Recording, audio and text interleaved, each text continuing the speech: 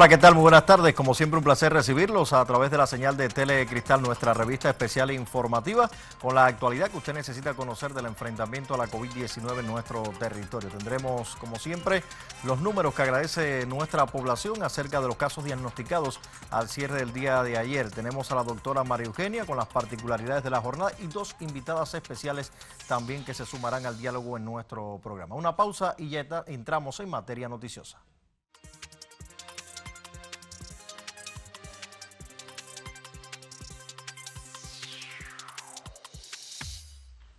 Iniciamos con la actualidad que nos ofrece la página oficial en Facebook de la Dirección Provincial de Salud Pública, Laboratorio de Biología Molecular de la Ciudad Cubana de los Parques, que diagnosticó al cierre del día de ayer un total de 70 nuevos casos positivos a la COVID-19, 63 autóctonos y 7 importados. El acumulado general de holguineros contagiados desde el inicio de la enfermedad ya suman 60.366. Vamos a ver la distribución por cada uno de los territorios. La siguiente imagen. El municipio de Banes continúa con la situación más compleja, 24 positivos. Área de salud Agustín Montes de Oca con 17 diagnosticados. Área de salud César Fornet 3, al igual que el área de salud Darío Calzadilla y el área de salud José Manuel Ricardo con un positivo a la enfermedad. Continuamos con el resto de los territorios, en la siguiente imagen, municipio de Jibara, 14 diagnosticados, área de salud José Martí con 10 casos y área de salud José Ávila Serrano con 4. El municipio de Holguín con 14 positivos, área de salud Mario Gutiérrez Ardaya, 3 diagnosticados, al igual que las áreas de salud Julio Grave de Peralta y Ale Surquiola. El área de salud Pedro Díaz Cuello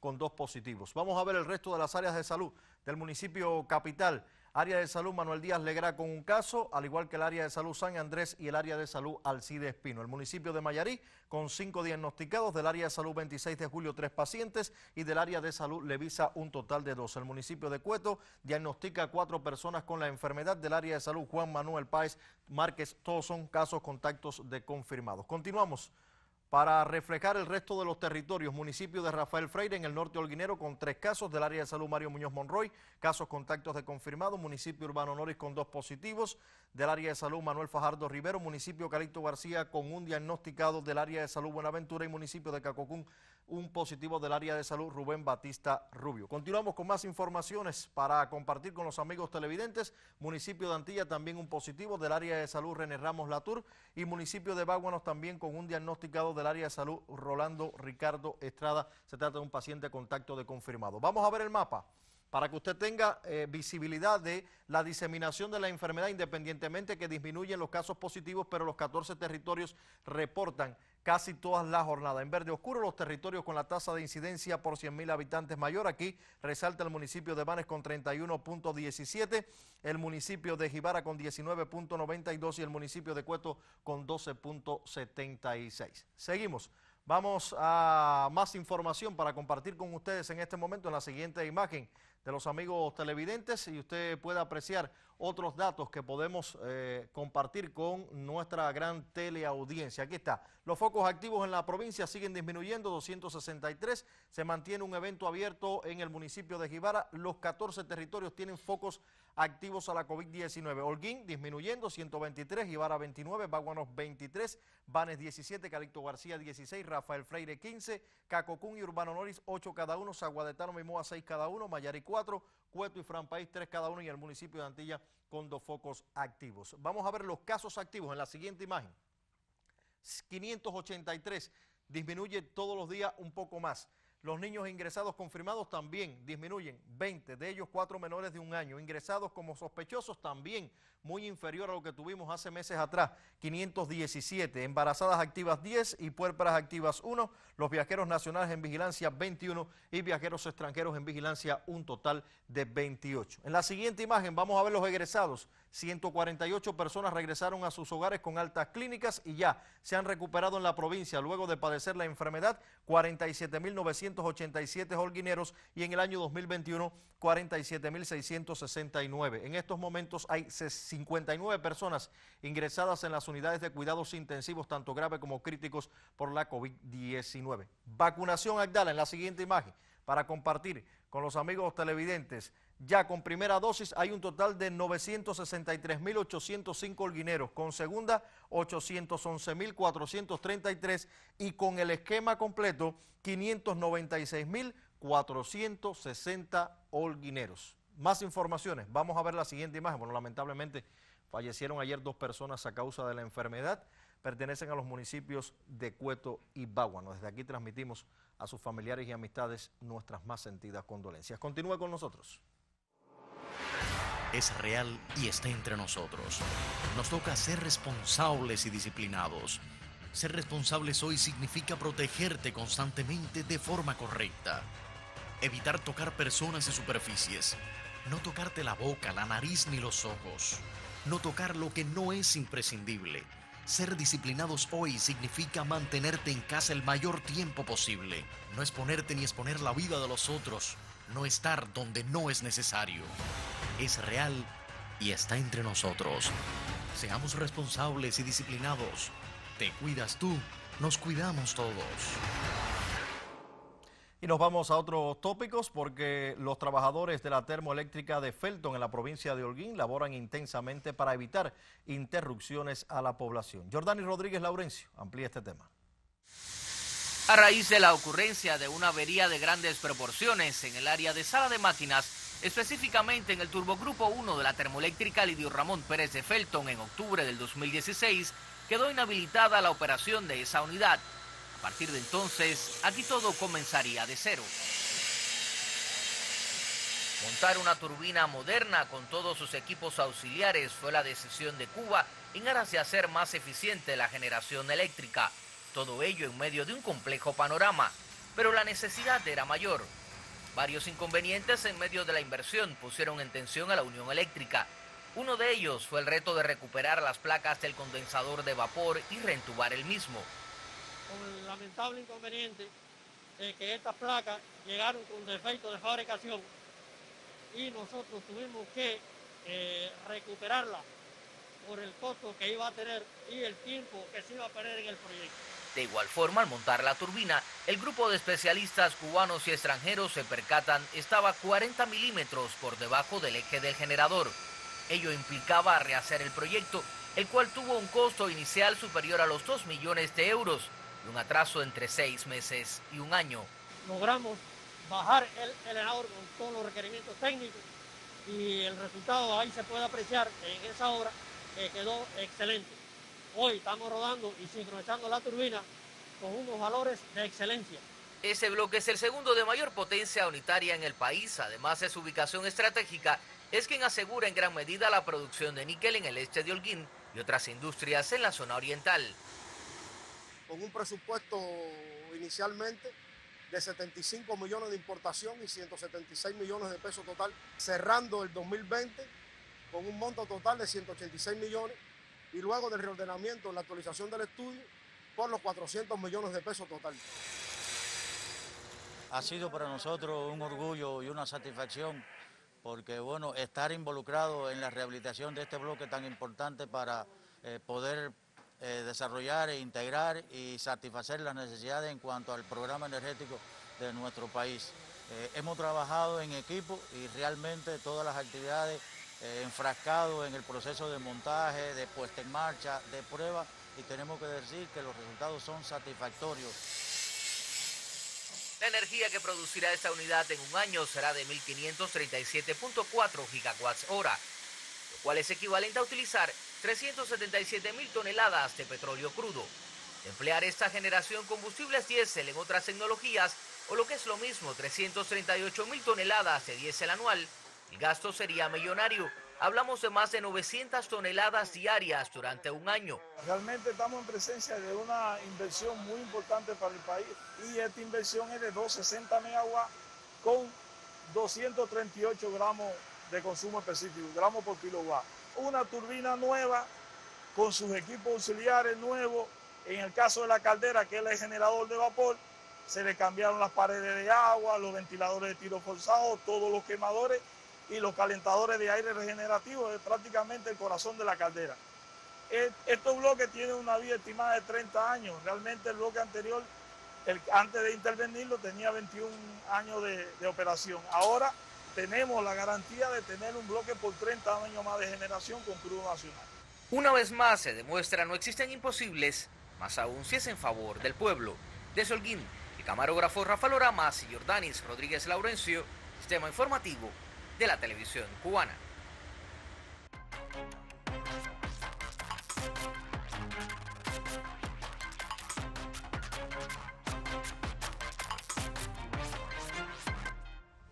Buenas tardes, aquí está la información deportiva. Los Bravos de Atlanta se coronaron campeones este martes de las grandes ligas de béisbol de Estados Unidos al vencer 7 por 0 a los Astros de Houston en el sexto juego de la Serie Mundial. Esta es su primera aparición en el Clásico de Otoño desde 1999, cuando fueron derrotados por los Yankees de Nueva York. Los Bravos consiguieron así la tercera corona de su historia y la primera desde 1995. La franquicia de Atlanta se impuso pese a tener el peor récord de todos los clasificados en la actual postemporada, 88 y 73, pero los playoffs fueron borrón y cuenta nueva para los discípulos del manager Brian Snicker, que ganaron 11 de sus 16 compromisos. Los Bravos decidieron el partido en el tercer episodio a marcar tres carreras por jonrón del cubano Jorge Soler, con dos hombres en circulación, que hizo saltar del box al venezolano Luis García. En el quinto episodio pusieron el encuentro 6 por 0 por otro cuadrangular, en este caso de David Watson, con uno en base, y luego doblete remolcador de Freddy Freeman con Soler en primera. En el séptimo inning marcaron la última con un vuelo cerca solitario de Freeman. Destaque para el trabajo efectuado por el abridor de los Bravos, McFreed, que lanzó durante seis entradas sin carreras, le dieron solo cuatro indiscutibles y ponchó a seis rivales. Las palmas para el designado Jorge Soler, seleccionado MVP de la Serie Mundial, que conectó tres honrones en esta última etapa, y para el cerrador Will Smith, pitcher que brilló en esa función durante toda la postemporada y cinco peleadores cubanos buscarán este jueves asegurar la medalla de plata y su presencia en la final del sábado del Campeonato Mundial de Boxeo de Belgrado, capital de Serbia. Los criollos que intentarán cambiar el color de su presea bronceada son Osbel Caballero en los 57 kilogramos, Andy Cruz en los 63,5, Joan Luis Hernández de los 75, Eris Ruiz en los 86 y Julio César La Cruz en los 22. El debutante en estas lides Caballero enfrentará al kazajo Serit Temirchanov. Andy tendrá en la esquina opuesta al armenio Javagnes Baklov y el también principiante Joanis rivalizará con el italiano Salvatore Cavallaro. Por último, en esta ronda de semifinales, el bisoño Eric Ruiz se la verá con Lorenzo Alfonso, un cubano nacionalizado en Azerbaiyán, y el doble titular olímpico y cuádruple campeón mundial de la Cruz peleará con el uzbeco Madiyar Saidakimov. El plantel entrenado por Rolando Acebal Archiva, 21 triunfos en 24 salidas y ya dejó detrás el número de preseas conseguido en la versión anterior de Caterimburgo 2019, en la que cosechó una de cada color. Los boxeadores criollos eliminados de la competencia son Lázaro Álvarez en 60, Roniel Iglesias en 71 y Kevin Brown en los 67 kilogramos. Ha sido la información deportiva. Tengan ustedes muy buenas tardes.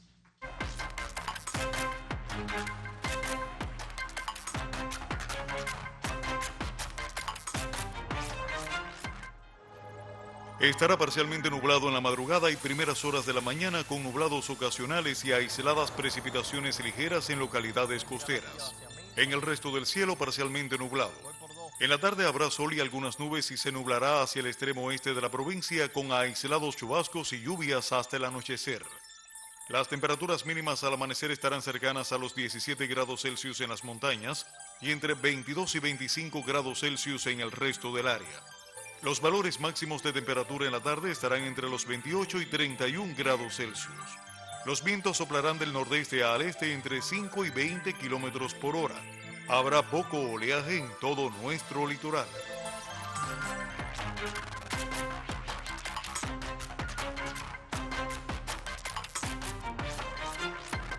Bueno, vamos al primer momento de diálogo en nuestra revista especial y se encuentran con nosotros la doctora Niuris Ricardo Díaz, quien es profesora auxiliar de la Facultad de Ciencias Médicas, además es psiquiatra de profesión. Buenas tardes.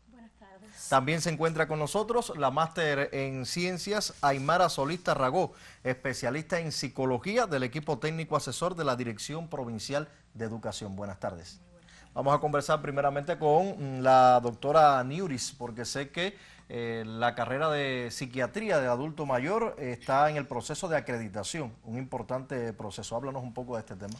Eh, sí, buenas tardes y muchas gracias por la posibilidad de poder eh, brindarle información a la población acerca de lo que está ocurriendo con la especialidad de psiquiatría de adulto en estos momentos. Eh, nuestra especialidad es, una especialidad clínica que se encarga de estudiar los procesos del pensamiento y de los trastornos, trastornos mentales y del comportamiento en los seres humanos. En estos momentos nuestra especialidad está siendo evaluada por la Junta Nacional de Acreditación. Esto quiere decir que estamos siendo sometidos a un proceso de evaluación externo eh, donde se evalúa el claustro de profesores, o sea, la preparación académica y científica del claustro de profesores, teniendo en cuenta indicadores como eh, la calidad de la, de la, docencia que se brinda, la calidad de la investigación, las publicaciones de artículos científicos que se realizan por el claustro de profesores. Esta, este claustro de profesores, propiamente dicho, está conformado por 14 especialistas, eh, los cuales tienen una alta preparación científica.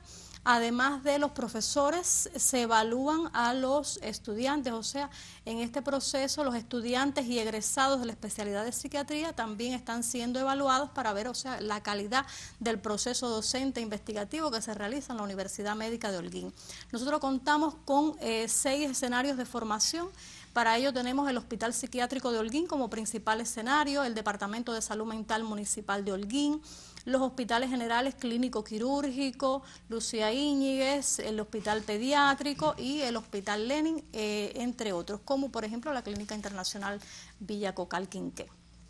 Este, nosotros en este proceso de años, o sea, la especialidad tiene más de 40 años en la formación de especialistas con 122 graduados que actualmente eh, en la provincia ejercen sus funciones 86 especialistas, de ellos 54 en la atención primaria de salud y 32 eh, en la atención secundaria.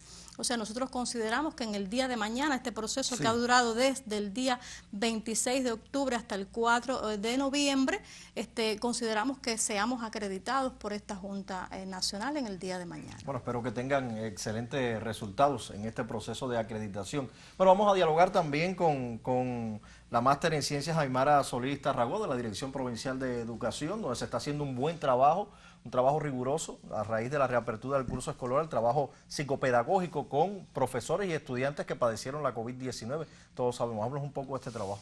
Sí, muchísimas gracias, buenas tardes para todos y bueno, gracias por la oportunidad de estar acá con ustedes. Eh, desde la Dirección Provincial de Educación se está haciendo, se ha hecho el estudio para los convalecientes con la COVID de conjunto con el eh, con la Dirección Provincial de Salud Pública desde el primer evento que surgió en el 2020. Em, se hicieron investigaciones, se aplicaron test eh, psicológicos buscando secuelas psicológicas eh, post-COVID. Se hizo un segundo estudio y ahora con la apertura del, reinicio del curso escolar, bueno, pues estamos eh, inmersos precisamente en los resultados que, que arrojaron estos estudios, por lo tanto, se determinó hacer una capacitación con toda la estructura de la Dirección Provincial de Educación sobre las secuelas neuropsicológicas de la COVID, cómo, em, cómo identificar a estos niños, también a nuestros docentes, porque tenemos unos cuantos docentes convalecientes dentro de, nuestros, de nuestras instituciones. Y esta misma capacitación también se le dio a todos los psicopedagogos de los centros eh, escolares que tenemos en la provincia. Ya en la provincia, porque bueno, en los demás municipios también se hizo. Se incluyó dentro del diagnóstico inicial test psicológicos para explorar eh, el área afectiva y ver el nivel de, de, daños que tenemos en estos momentos en tanto en los niños como en nuestros docentes, porque también se puso, eh, se, se incluyeron test psicológicos para nuestros docentes. Y finalmente hicimos un documento metodológico con elementos caracterizadores que complementaron las caracterizaciones que se le hacen a todos nuestros niños, adolescentes y jóvenes, específicamente en el aspecto de la salud y teniendo en cuenta los síntomas de la COVID. Ya aquí sí, síntomas clínicos y síntomas psicológicos, no solamente los psicológicos de la capacitación.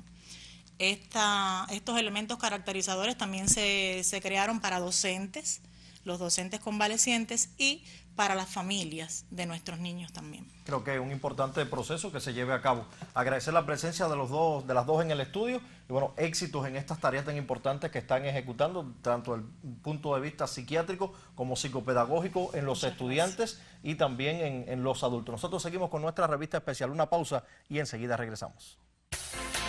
¿Por qué es importante vacunarse? Es una medida a incorporar para la prevención del COVID-19, así como también ventilar espacios, el uso de mascarillas, el lavado frecuente de manos y el distanciamiento físico. Las vacunas para la prevención del COVID-19 utilizan distintas técnicas ya probadas en otras anteriores seguras y efectivas, ya que disminuye la posibilidad de entrar en cuadro grave y riesgo de muerte.